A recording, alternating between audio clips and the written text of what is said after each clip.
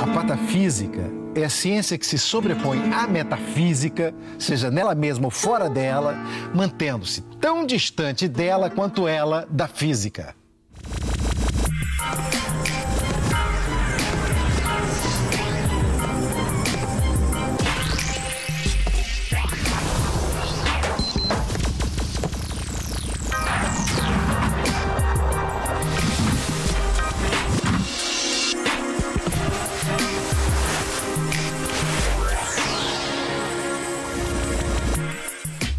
Artista. Parte hoje da Lapa, o ponto maior do mapa do espaço sideral, em direção a terras distantes, ao além-mar, em busca do maior dos maiores, de um dos cinco homens que sustentam o mundo mais importantes do que os ganhadores do prêmio Nobel, eles são os transcendentes sátrapas do Colégio de Patafísica. A patafísica, como qualquer criança sabe, é a ciência das soluções imaginárias, que atribui simbolicamente às coisas as propriedades dos objetos descritos por sua virtualidade. É só ela, a patafísica, que quem pode salvar o mundo caótico desse começo de milênio. Sua inteligência, vivacidade e a sabedoria de um transcendente sátrapa, grau mais elevado e sublime do Colégio de Patafísica, pode salvar o mundo.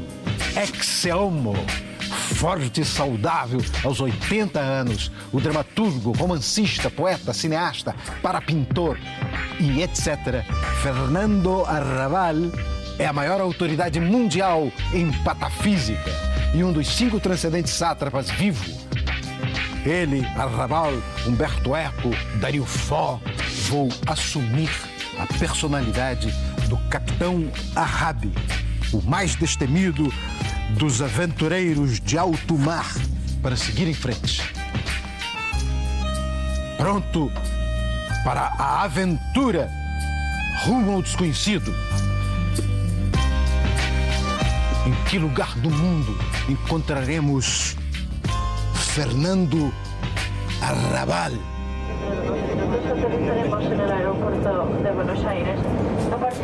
Aqui estou, na minha primeira escala. Não sei que cidade é esta. Cansado de andar em busca de alguma placa de identificação, resolvo sentar em um banco coberto de uma espuma branca, que também não identifico. Limpo o banco e sento. Faço uma experiência científica para tentar descobrir de que é feita essa espuma. Como não descubro, experimento chegar perto dela. Talvez ela seja feita para engatinhar o homem voltando à sua primeira infância. Ainda não estou seguro. Olho em volta. Ah, acho que consigo identificar. Sim, consigo identificar essa cidade. Eu lembro de um programa de TV do Jô Soares, em que Chico Anísio, o grande artista brasileiro, mestre do humor, mostrava imagens de sua cidade natal no Ceará. É ela! É ela! Estou em Maranguape! Abro o peito para sentir o calor do Ceará. Bom, não é propriamente quente, mas isso só confirma que é Maranguape, a Serra de Maranguape, mesmo no Nordeste do Brasil, o frio de Maranguape, terra de Chico Anísio. Não é em Maranguape que mora Fernanda Rabal. Eu tenho que ir adiante. Tudo, tudo que sei é que Arrabal mora em uma cidadezinha na beira de um rio. Eu vou então procurar essa cidadezinha tomando um barco. Esse barco. E seguir rio acima. Será que eu vou conseguir?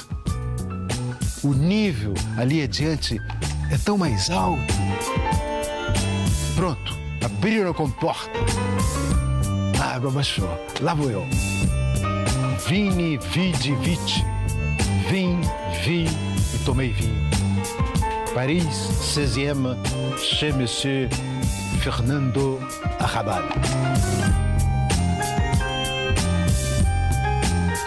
El vinicultor Fernando Arrabal, que tiene el vino Arrabal, que además del vino puedes ganar un poema.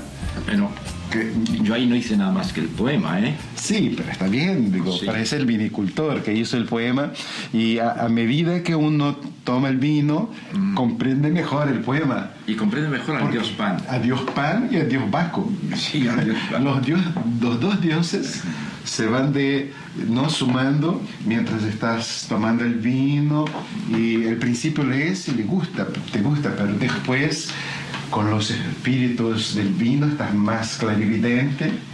Sí, más. a pesar de esa borrachera relativamente célebre, más célebre en los países de lengua española que en los países de lengua portuguesa, por lo que veo.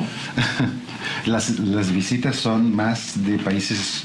El total de visitas, como puedes ver al llegar al hotel, eh, suman más de un millón de visitas. Es decir, hay más de un millón de personas que han visitado y que visitan constantemente. Yo creo que es una de las de las YouTube más visitadas. Misteriosamente, pues que todo lo que me llega es misterioso e inmerecido. Y sin embargo, hay YouTube que yo pienso que tiene una cierta importancia y una cierta relevancia. Por ejemplo, la última conversación pública con Luis Bourgeois, con la, La- la- que pasa por ser escultura. el mejor artista vivo de ese momento, la última es conmigo.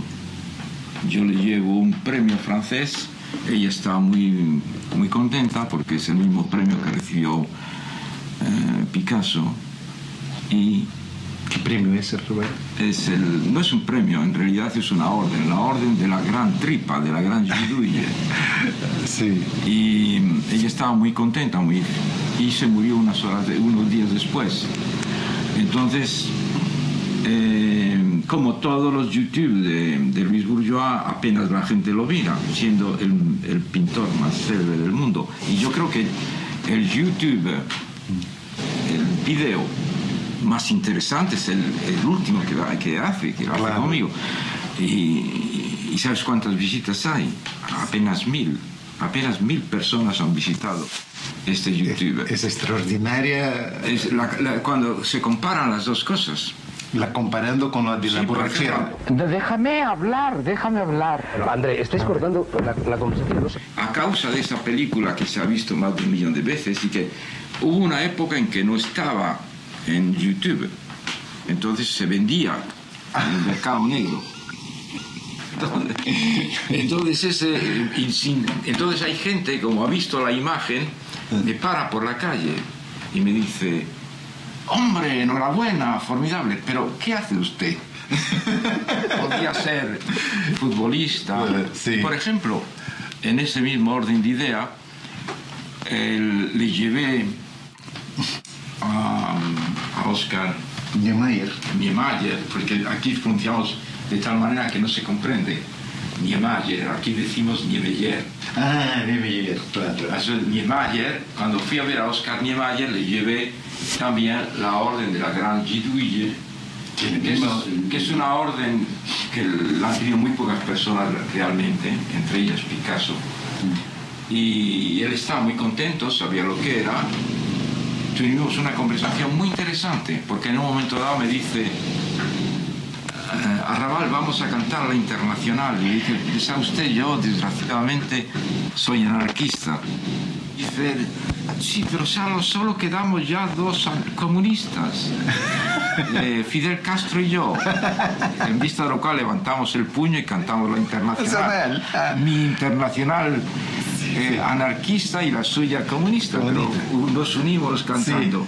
Sí. Bueno, el pues último este- anarquista y los este- dos últimos comunistas, quizás. Este YouTube, que yo creo que es relevante por lo que concierne al mayor arquitecto de la historia de la humanidad y que eso son últimas palabras públicas y es su último trofeo y él está contento y me anuncia que va a venir a París a verme va a morir unas- unos días después.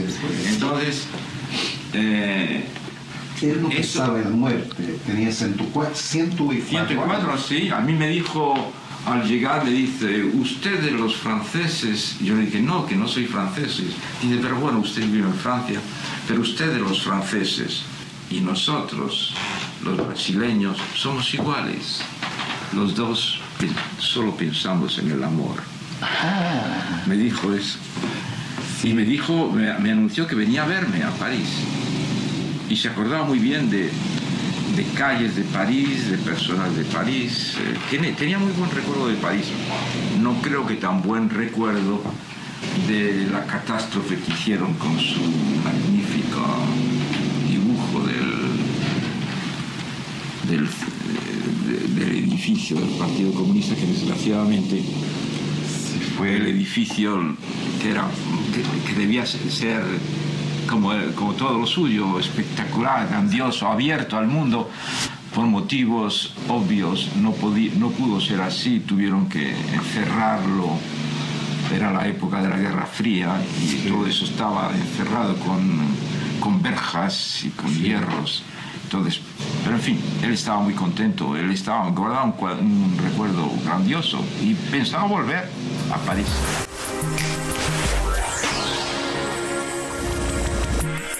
¿Cuáles son los antecedentes sátrapas? Pues son vivos, ¿Sí? están Humberto Eco, Humberto Eco, Dario Fo, Dario Fo, Simon Leys, que no seguramente nadie conoce, es un, el mayor especialista de chino del, del mundo. Ah. Es un novelista, es un escritor, para mí es el mayor escritor en francés. Él vive en Australia.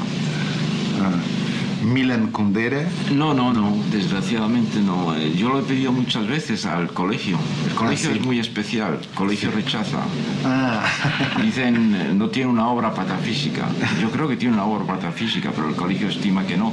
Y como el colegio son muchos y, y pues no han querido ni, Ah, ni, ah, ni ni personas que yo había Sí. propuesto. Ah, Hulbeck también, También lo propusiste. propuesto, sí. Sí, pro- pro- Y consideran que no tiene una obra patafísica.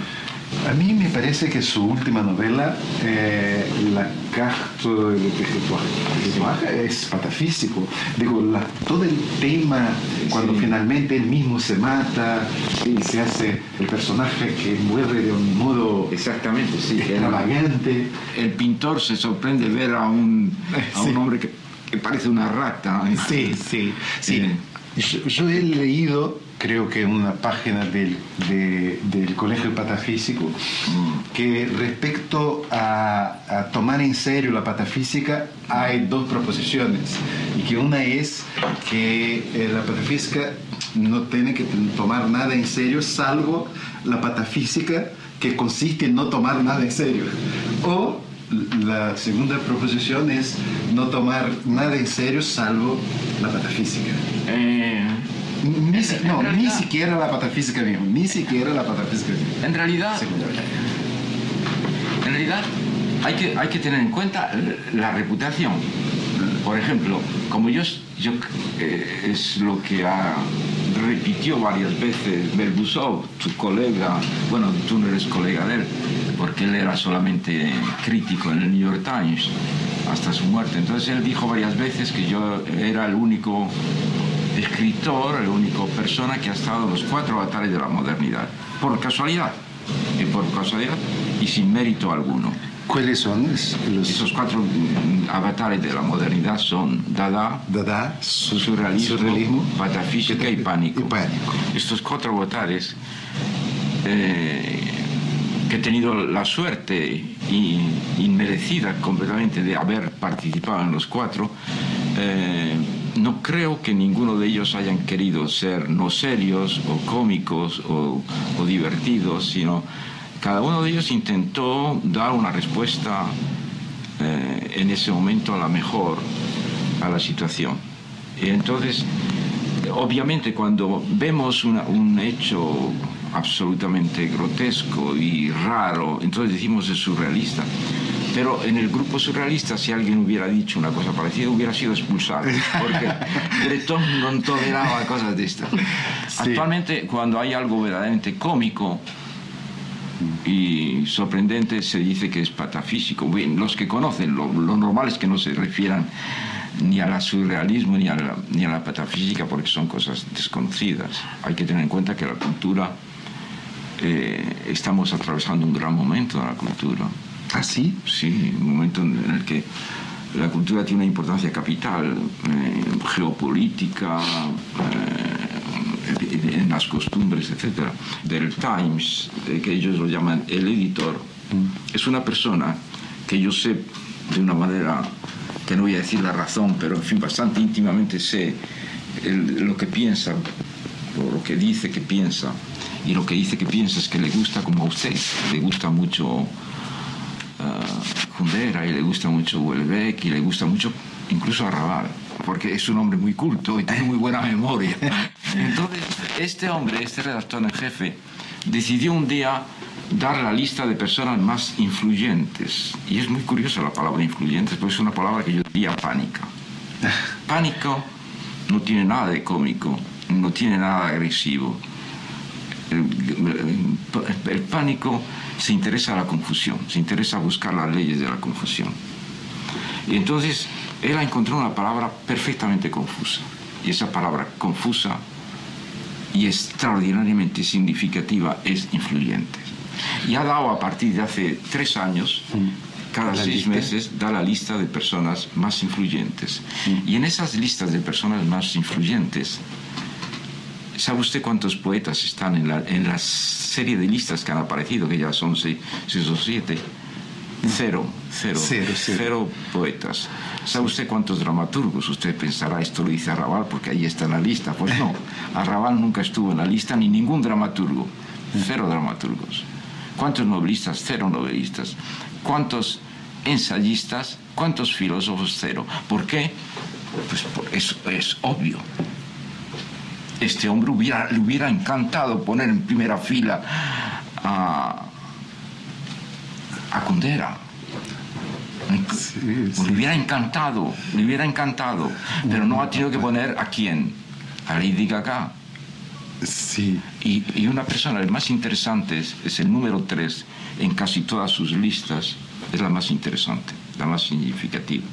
Y la número 3 es Clinton. ¿Quién? Clinton. Clinton. No sé si, te- Sí, si sí. lo pronuncio bien. Sí, sí, sí. Clinton. Entonces todos esperamos que el Clinton, ese Clinton que aparece siempre en las listas, fuera el secretario de Estado y ministro, lo que para nosotros es ministro de Asuntos Exteriores, Hillary. es decir, Madame Clinton. Clinton. Pues no, es Monsieur Clinton, que hace años que no funciona. Que no es nada. Está fuera, pero es como un premio a la felación. Es un premio a la apelación. Pero te quiero preguntar otra cosa más. Es, ese tema de tu prisión. Yo creo que hay, como los pintores hablan de instalaciones, hay como una instalación de mi circunstancia. Y esa instalación de mi circunstancia, no digo que da miedo, pero mm, a veces es como, hay una tensión con esta instalación y como si quisieran estar, no diría a la altura de estas circunstancias, pero como si entrar en ello. De- porque han- ha ocurrido una serie de cosas en la- que se, se me aplican como triunfos, como cosas maravillosas de mi, o como cosas Tu creación.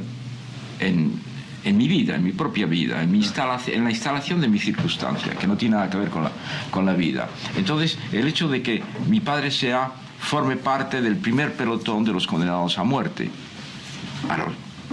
Todos mis colegas lo merecían más que yo, porque son infinitamente más políticos. Que yo haya sido encerrado en una cárcel franquista,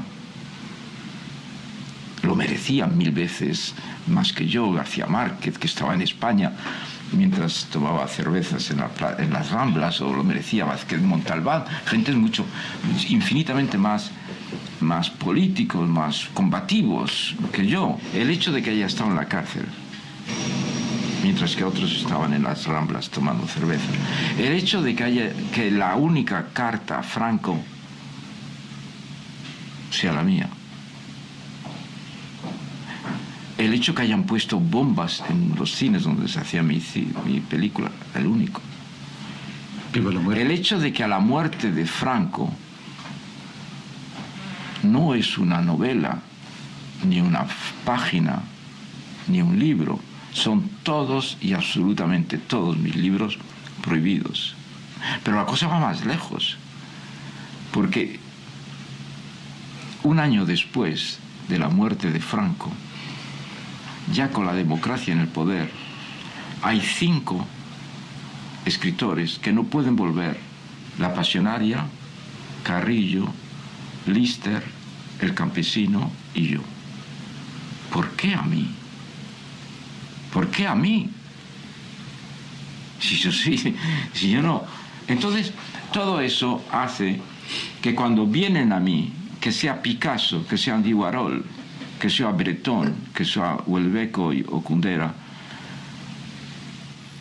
quisieran estar, eh, creen que están ante una persona que merece todo esto y no se dan cuenta que yo no merezco nada de esto, porque el que mi padre, el que mi padre haya sido condenado a muerte el primero, resulta porque estaba en Melilla y en Melilla se adelanta la guerra civil. El que haya estado en la cárcel, pues la verdad es que es una, es una coincidencia porque creo que en las cosas me caen y no sé por qué, porque yo no tenía méritos suficientes como para tener esta formidable triunfo que es haber estado en una cárcel fascista. Pero era el único, el único premio que podía darme Franco. El hecho de haber prohibido toda mi obra, pues es otro triunfo, inmerecido completamente. Lo hubiera merecido García Márquez, me a repetir. Lo hubiera merecido en España había muchos combatientes eh, hasta el último momento y de manera eh, con mucho coraje y mucho, mucha valentía. Entonces no se sabe por qué en todo eso. ¿Y por, qué al llegar a París los cuatro avatares se ponen en contacto conmigo, pero no de una manera pequeña, sino de manera intensa? Por ejemplo, Breton me nombra presidente de los amigos de, es la primera presidencia que voy a tener en mi vida. Presidente de amigos? de Benjamin Perret, que era su hijo, era el escritor preferido de, de Breton. En fin, en todo, los patafísicos me nombran trascendente sátrapa. Eh, eh, Tristan Saha hasta el último momento me considera por lo menos un gran jugador de si no sé si me consideraba más. Durante 36 años yo he hecho la crónica de ajedrez todas las semanas en el semanario francés número uno. Digo número uno, el número de ventas, que es el Express. Eso significa que el director del periódico, cuando yo publicaba una partida de ajedrez comentada y ponía, y me equivocaba y ponía E4 en vez de E5, había 100 cartas al director, no a mí, al director diciendo ¿Cómo es que tiene usted un, un tiparraco que pone 4 en vez de 5? para, decirte, para decirle lo, lo cómo he combatido toda mi vida la confusión. En Brasil hubo un muy famoso presentador de programas, eh, de, como te digo, de programas populares de televisión, de programas que hizo un tipo, se vestía como payaso y se, se llamaba Chacrinha. Ah, Chacrinha. Fue un tipo que presentó por muchos años hasta un nombre mayor el programa y decía, yo no vengo para yo no vengo para aclarar, vengo para confundir. Así y es su principal eh, slogan. Yo, yo, estoy aquí para confundir, no para aclarar. Eh, y, tiraba bacalao al público. Ah, sí. Como lo cual lo hizo Diógenes, ya tiró bacalao en los Juegos Olímpicos. Ah, Entonces, al tirar, no, él, tiró sardinas. Eu estou aqui com o livro de Alfred Jarry, Gestos e Opiniões do Dr. Faustron, patafísico, que é a obra fundadora desta ciência que salvará o mundo. Leio algo mais sobre ela. A patafísica será, sobretudo, a ciência do particular, embora se diga que não existe ciência que não seja do geral. Ela estudará as leis que regem as exceções e explicará o universo suplementar a este. Em lugar de enunciar a lei da queda dos corpos em direção ao centro, por que não preferimos então enunciar a lei da ascensão do vazio em direção a uma periferia. De dentro desta banheira, no meio da Lapa, que é o ponto maior do, do mapa do espaço sideral, portanto, do centro patafísico do mundo, eu anuncio a continuação desta aventura excepcional a Laíto, Tugúrio, Cabana, Choça, Pouso, Chopin, Chopana, Mocambo, Regaço, Ninho, ou melhor, Caverna Errante de Fernando Arrabal. Não perca o próximo capítulo. Semana que vem.